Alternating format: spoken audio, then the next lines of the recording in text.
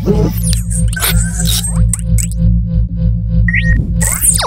this is Madben. We are in Paris in my studio and you're watching Against the Clock. This is my session for Fact Magazine. We have I have 10 minutes.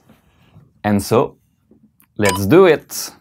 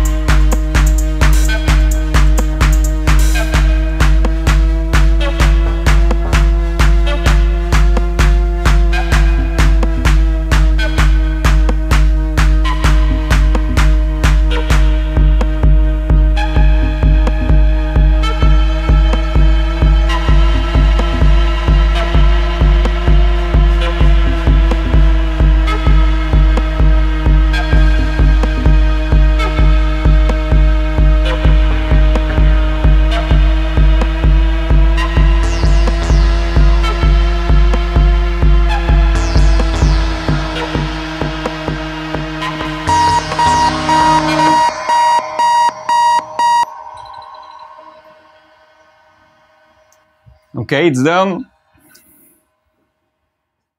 For this session, I've decided to work only with hardware uh, to have uh, on-the-fly um, feeling. I've used to play with the Midas mixer to control all my gears.